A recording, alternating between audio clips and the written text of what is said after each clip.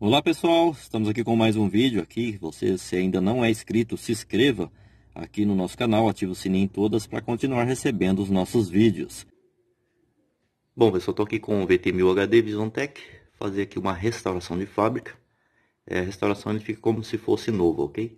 Sempre falamos aqui no canal, cada três meses é bom fazer uma configuração de, de fábrica e uma nova busca de canais para não perder nenhum canais, nenhuma TP nova que entrou, ok? Que você vai em menu do seu controle remoto e você vai vir nesse cantinho aqui, ó. Aqui já estava, ó, restaurar configuração. Apertou OK, a senha padrão que é os quatro zeros vai aparecer. Tem certeza que deseja carregar configuração padrão de fábrica? Pressiona OK para confirmar. Lembrando que após fazer isso aí, você tem que configurar totalmente, é, caso você use a chave de SEC, ok? Agora já vai fazer a restauração. Só colocar aqui que eu não tinha colocado o OK, né? Agora sim. Restauração de fábrica. Feito isso, você vai apertar OK, ó. Não tem canal nenhum, não tem nada, ok? Então você vai em menu para configurar novamente a sua antena parabólica.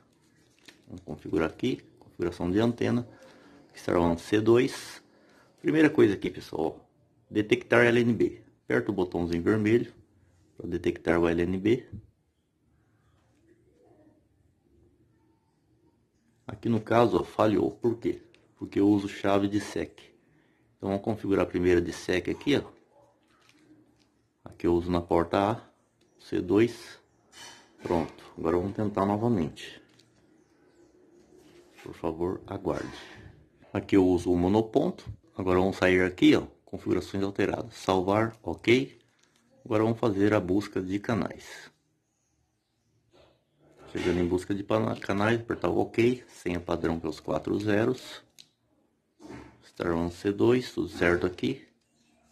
Vamos fazer aqui busca cega.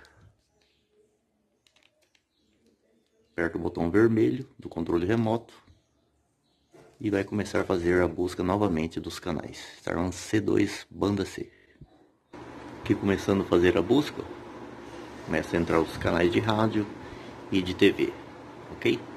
Após feita a busca, só apertar o botão sair, beleza? E é dessa forma que você faz o reset fábrica e a busca de canais aqui no VT 1000 HD, ok?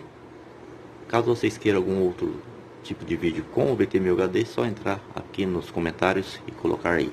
Forte abraço e até o próximo vídeo.